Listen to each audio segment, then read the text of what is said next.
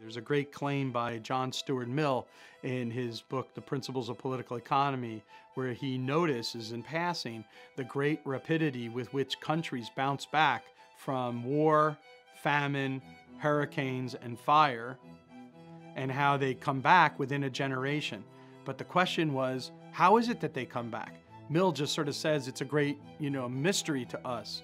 And so instead, we're trying to explore that here, and we started our work at Mercatus by studying the failed and weak states and the collapse of communism in the less developed countries. So we sort of use this three-legged bar stool idea.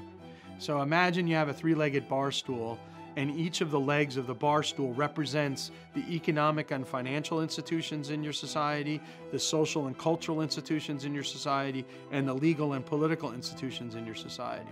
Now, what you're going to do is put stress on that bar stool. If you put stress on that bar stool, but none of, but if one of the legs is weak, what's going to happen? The bar stool will topple over. So that bar stool can only hold if those legs are strong. And so the question was, what happens when we have to reform because we've wiped away those legs from the bar stool? And so Hurricane Katrina gave us a natural experiment in this and to look at the way in which political and legal institutions interact with economic and financial institutions and social and cultural institutions. And so what we did was we put three different teams into the field.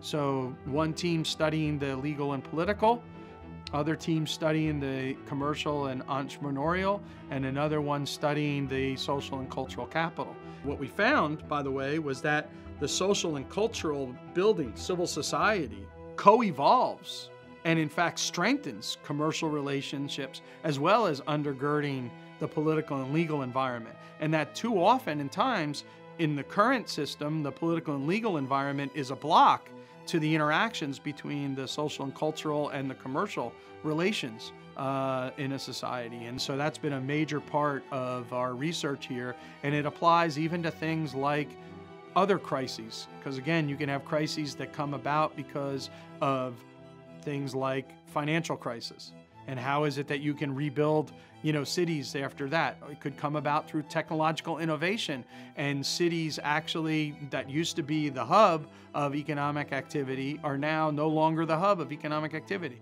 How does youngstown ohio after the steel industry try to come back?